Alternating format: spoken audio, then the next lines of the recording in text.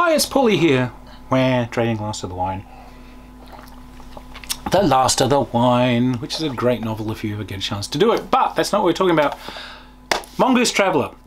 So Mongoose have just brought out their new core rulebook update for 2022. Now, I keep harping on this, but I adore Traveller. Traveller is um, a beautiful go-to system. It's a 2d6 system. It's robust. It works beautifully well. It has been the bones, the meat and the sinew of science fiction role-playing since the 70s. Um, love you guys forever. Mongoose took this and ran with this and modernized this some years ago. This is the update. So, this has just come out. Um, its production value is excellent. So, what is this book? Well, if you remember the original um, Traveller game, there were three core books. There was characters, there was worlds and adventures, there were starships and etc. This is all three of those books in one volume. One slim volume! Um, so it handles all of that.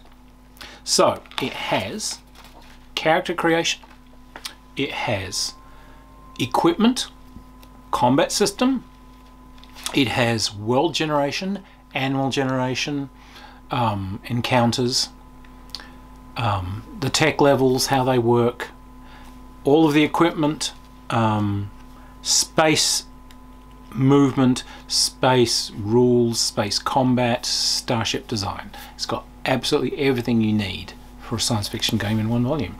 Um, this is it. Now, um, for those of you who are old traveller and haven't seen the Mongoose, what does Mongoose do? Well, the first thing Mongoose does is you might remember original traveller, you roll 2d6, 8 or higher, and la, you have succeeded. You have skills which are expressed as a number, and that adds to your dice roll. So if I roll a 6 on the dice, but I have a skill of 2, I add that to my dice roll, 6 plus 2 is 8, that would be a success. Lovely! So what they've got now is they built in difficulty numbers.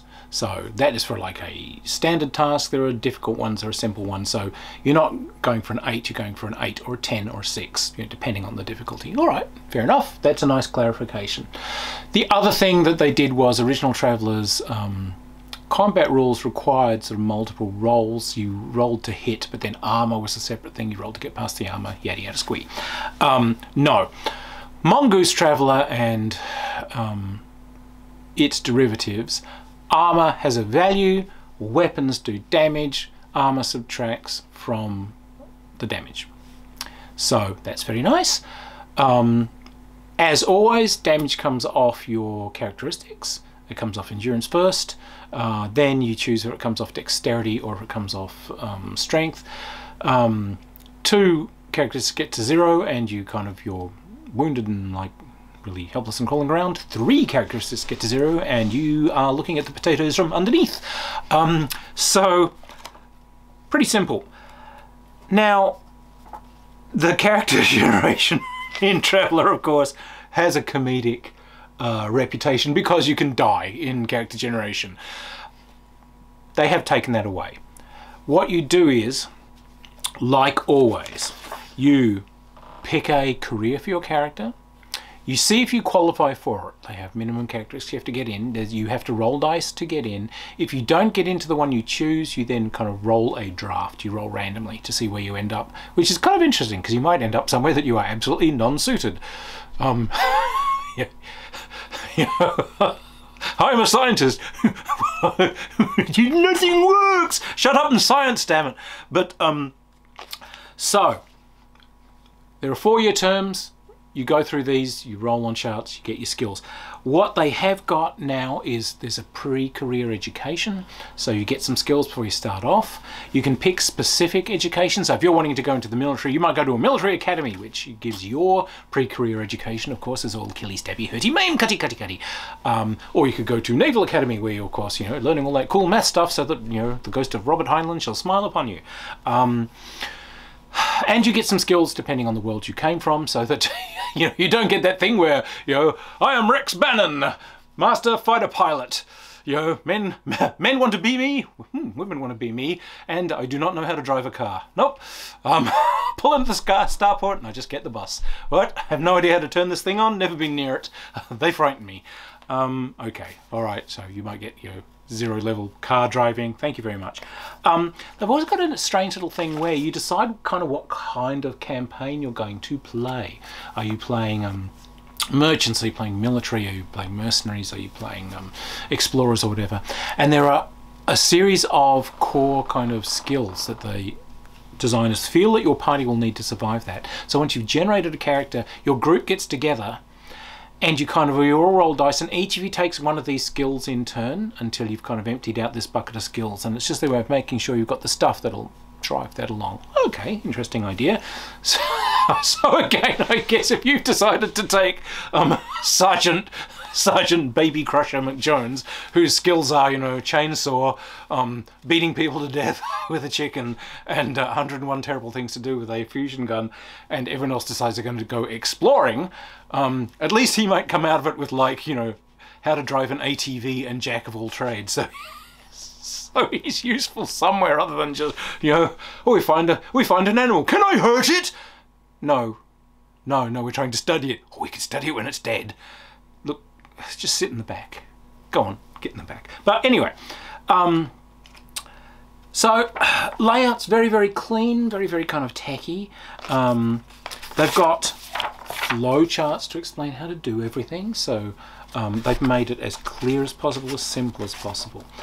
Now, they have clarified some of the skills. So one of the things about Original Traveller was, as they created more and more um, careers for you to go, they kind of invented some cool sounding skills, but some of them kind of were different names for the same thing or overwrote bits and pieces. So it's like um, they have clarified things and some stuff like say carousing which was a great skill. I can get drunk and throw up on people at parties. Well that's lovely dear.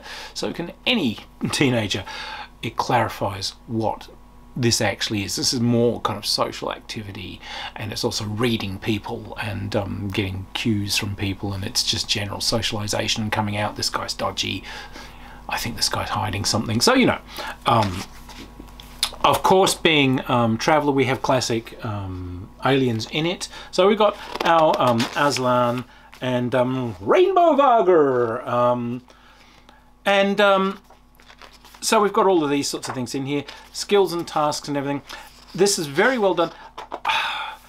When they got to weapons, I don't know why the artwork on the weapons is um, slightly bizarre. So like um, they, they took their cue from that from current Dungeons and Dragons illustrations. So no one draws a sword. I've got to draw a sword with a massively strangely jagged guard and it's got to have a twisty blade and it's like it's a rapier for God's sakes.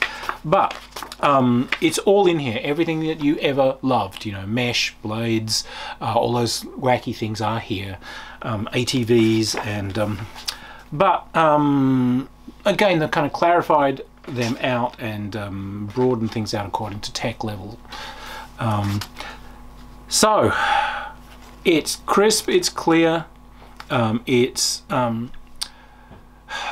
in the Mongoose Traveller that was, there were some rules that had kind of spread themselves out over some of the supplements. These have been gathered sort of under one cover. So this is a nice reference. What I like is this is an entire role-playing game. Um, you could run Traveller with nothing more you don't need a thing. It's got everything. It's even got all the standard ships and so on in here. It's got your scouts and your merchants and all the ships that we love are right in here.